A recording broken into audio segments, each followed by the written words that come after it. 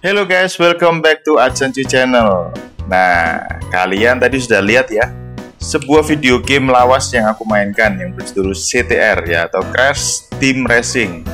Mungkin bagi kalian yang menonton video ini kali ini ya, kalian ada di usia 20-an sampai 30-an atau bahkan mungkin sampai 40-an tahun pasti sangat mengenal game CTR. Nah, game CTR ini adalah salah satu game yang sangat menghiasi masa-masa kecil kita di era tahun 90-an. Nah, mungkin bagi kalian yang sekarang sudah bapak-bapak atau mungkin masih om-om ya. Terkadang mungkin kalian pengen bernostalgia untuk memainkan game-game lawas. Nah, jadi pada kali ini kita akan membahas dua emulator yang bisa kita gunakan untuk memainkan game-game PS1. Nah, terkhusus untuk saat ini yang kita bahas adalah EPSXE dan juga Dark Station. Nah, kita akan bahas kira-kira di tahun 2024 ini mana yang bagus. Menurut kalian, Dark Station atau EPSXE? Nah, seperti yang kalian lihat di layar pada saat ini, ini adalah tampilan dari EPS XE dengan versi 2.0.5. Nah, untuk kelebihannya yang aku mau bahas yang pertama adalah tampilannya yang sangat-sangat ramah terkhususnya bagi pengguna emulator yang baru atau mungkin orang-orang yang baru mau belajar dunia peremulatoran. Nah, tampilannya cukup simpel ya untuk bagian file itu ada ya run CD-ROM, run ISO ya. Uh, lalu di bagian konfigurasi uh, kita hanya perlu menyeting ada berapa ini uh, video, sound, CD-ROM dan gamepad dan juga BIOS.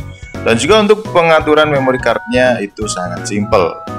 Nah, kalau kita misalnya mainkan game PS1 di EPS XE ini, uh, mungkin kita mau mempercantik grafiknya itu tampilannya sangat-sangat simple ya dan juga untuk tampilan pluginnya juga sangat simple dan pilihan-pilihannya untuk pengaturan resolusi dan segala macamnya itu sangat-sangat uh, mudah untuk kita otak-atik. Dan selain itu apakah ada yang perlu diotak-atik lagi? Aku rasa sudah nggak perlu ya. Hanya itu aja. Nah, itu adalah kelebihan dari EPS XE. Jadi tidak perlu ribet jelimet, tinggal install dan juga download gamenya. Kalian sudah bisa memainkan game PS1 dengan lancar.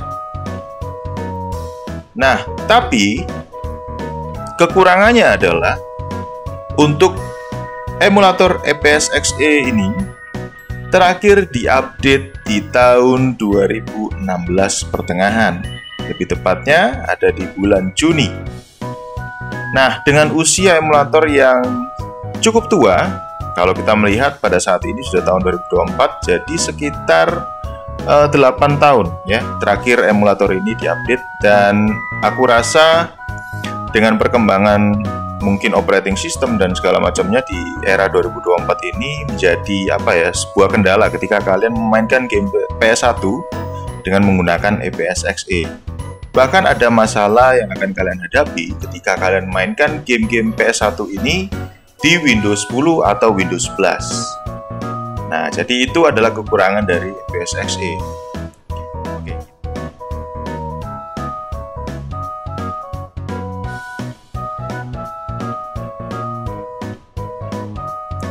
Oke, kita bahas yang berikutnya yaitu Dark Station. Nah, untuk Dark Station memang uh, aplikasi ini kalau menurutku uh, termasuk ya baru ya dia baru muncul dan istilahnya menggantikan eksistensi dari EPS-XE.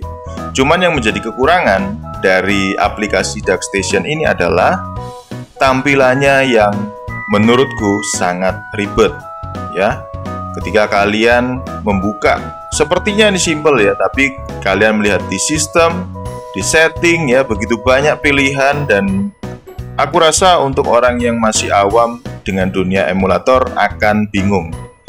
Ya, karena harus mulai dari mana? Apa yang harus di uh, otak-atik? Apa yang harus disetting terlebih dahulu untuk memainkan game? Atau mungkin ketika uh, orang tersebut ingin mengotak-atik bagian grafis apa yang harus diubah karena bagian sini ada display, ada enhancement dan juga yang lain. Nah, lalu uh, itu kekurangannya ya. Kelebihannya DuckStation ini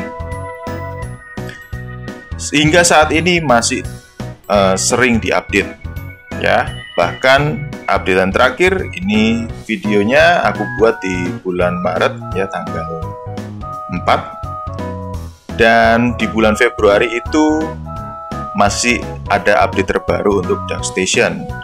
Nah, dan juga kelebihan lain dari Dark Station ini, ya tampilannya sebenarnya sudah mirip dengan emulator PS2. Kalau kalian tahu emulator Aether SX2 yang ada di Android, itu juga mirip tampilannya seperti ini. Kalau kalian juga tahu emulator Citra, itu juga tampilannya mirip untuk 3DS.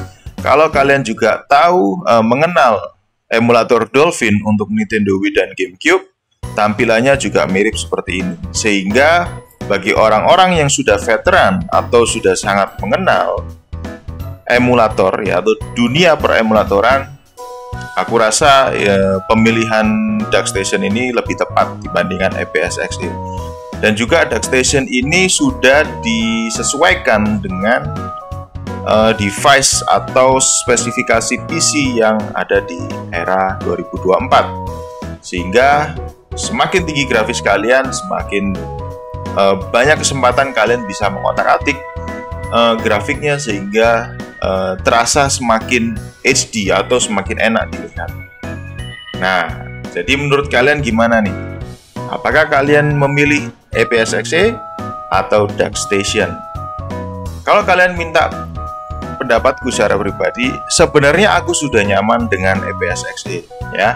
Cuman ya karena kondisi dan situasi mau nggak mau aku harus berpindah ke DuckStation karena EPS XE ini sudah tidak bisa dijalankan ya di PC uh, eh, punyaku yang Windows 10. Nah, kalau untuk laptop ini Windows 11 nggak tahu, ini bisa ya aku coba. Jadi aku juga bingung kesalahannya di mana. Nah, cuman untuk masalah grafis memang lebih jernih di Dark Station. Nah, oke. Okay.